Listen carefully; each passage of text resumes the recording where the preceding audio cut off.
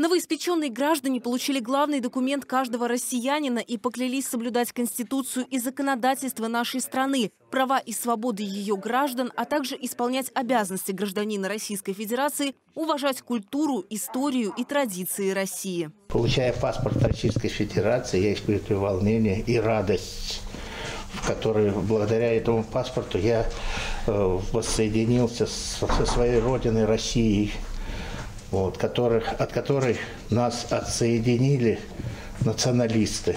А посему мы значит, теперь ну, считаюсь полноправным граждан, гражданином великой и могучей Российской Федерации.